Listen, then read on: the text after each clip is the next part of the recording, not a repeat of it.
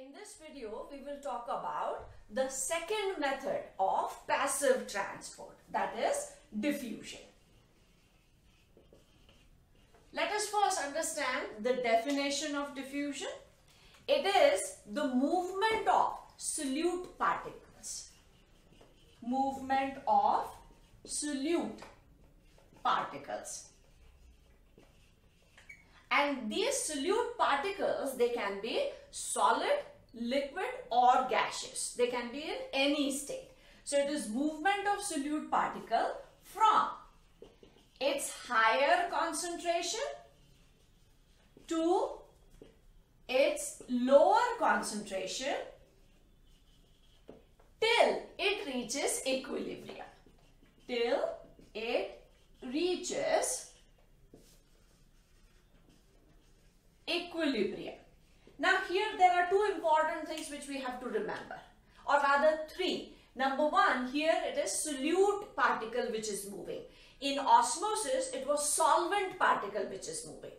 Second here there is no uh, essentiality or no requirement of a semi-permeable membrane. And three this is also passive and that is why the movement of particle will take place till in both the compartments or in all areas it is in equilibrium.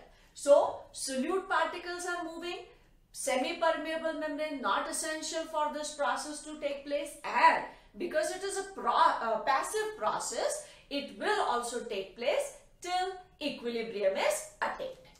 Now let us take these solute, solute particles and see what is moving. That means if the solute particle is solid, solid solute particle. We can take the example of smoke. Whenever we see smoke, there are some black particles. These are unburned or incompletely burned particles. We can call them unburned carbon. So this is solute is solid and it is moving in gas that is in air. So solute particle we can think of smoke as an example. Let us talk about liquid solute particle. When we squeeze a lemon, there are few drops of lemon juice which fall into water. Lemon juice is liquid, it is solute and it is going into water which is solvent. So if we are talking of liquid solute, we can think of lime juice. And gaseous, gaseous solute. When we think of gaseous solute, it is gas moving into something. If we are, uh, we can take the example of carbonated drinks. In carbonated drinks, there is carbon dioxide which is dissolved into that liquid. As soon as we open the lid or the cap of the bottle, this gas fizzes out. So this gas was in liquid. So here we can write the example as carbonated drinks. In this uh, gas as a solute, we can also uh, take an example that oxygen is dissolved in water and this is the oxygen which the aquatic organisms are able to take. So, the solute can be solid, liquid or gaseous. So, solute particle is going to move. We'll take some common examples which we encounter every now and then. When we spray a deodorant or a perfume on our body and we walk into a room, suddenly the people sitting there, they start smelling it because the concentration of that perfume was maximum on our body, on our clothes and in the room the concentration was zero. So from higher concentration the particles start to move into the room everywhere. Until everywhere the particles are evenly distributed, this movement is going to take place. Another example is if we have an incense stick, then the fragrance of that incense stick spreads from one point to the entire area. It could be the room, it could be the entire house. Now there are certain factors which affect the rate of diffusion. So let us talk of those factors affecting the rate of diffusion. The first factor is temperature. Higher the temperature, faster is the rate of diffusion. Higher the temperature, faster is the rate of diffusion. Now let us take an example to understand this point. We are able to smell hot food. When the food is being cooked in the kitchen, we are able to smell it in our rooms. How is this possible? When the food is being cooked, we are supplying heat energy. And we know heat or any energy can be converted from one form to another form. So heat energy gets transformed into kinetic energy. And the particles which are moving out of that food, they are at a higher energy level.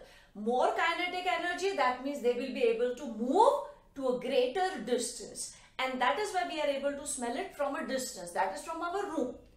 If the same food refrigerator and we take it out, we don't smell it the reason is the particles are still there. But right now, we are not providing it any heat. So, the heat energy which is not getting provided, so heat is not converted into kinetic energy. So, particles remain there on the food itself. So, when we increase the temperature, what is happening is heat energy is getting converted into kinetic energy and that is why the particles are able to move faster or they are able to cover a greater distance. So we say higher the temperature, faster is the rate of diffusion.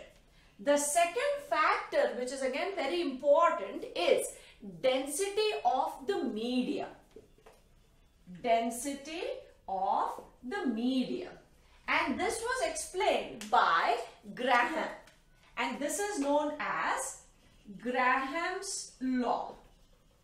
This law says that rate of diffusion which is represented by capital D is inversely proportional to the square root of the density of the medium.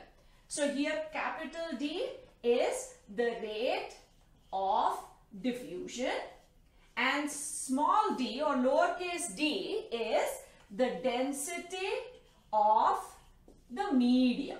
That means if the medium is dense, the rate of diffusion is going to be slower. We can think of three mediums, gaseous medium, liquid medium and solid medium. And we have also studied that in these three states of matter, in gas, the particles are very away, far, far from each other. In liquids, they are slightly closer.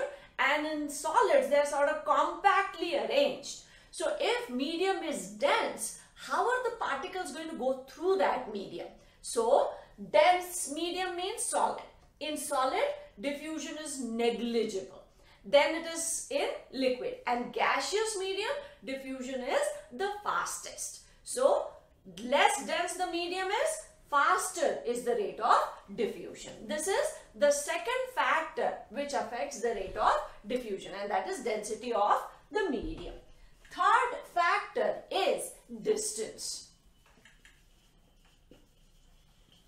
Just now, when we were talking about temperature as a factor, we took the example that when the cook or the food is being cooked in the kitchen, we are able to smell it because the particles are able to cover a specific distance.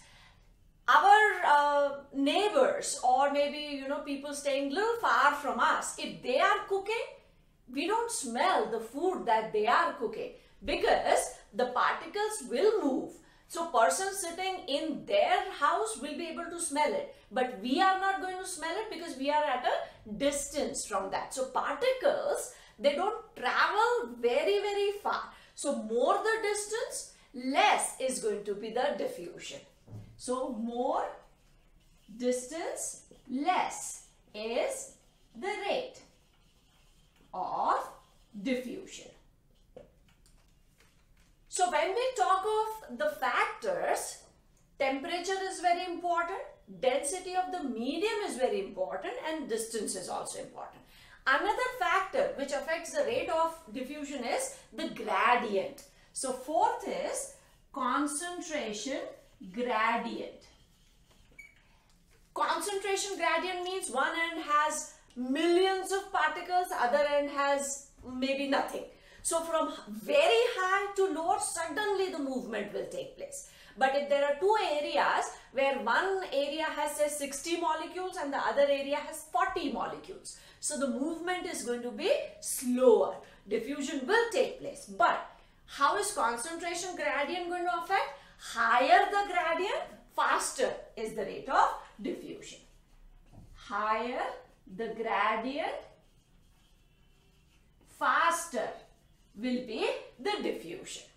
And uh, the example of this could be like if we spray too much of perfume on our body, then suddenly as soon as we enter the room, everybody starts smelling it. Because here the concentration is very, very, very high and in the room there is no perfume particle. So from very high to low.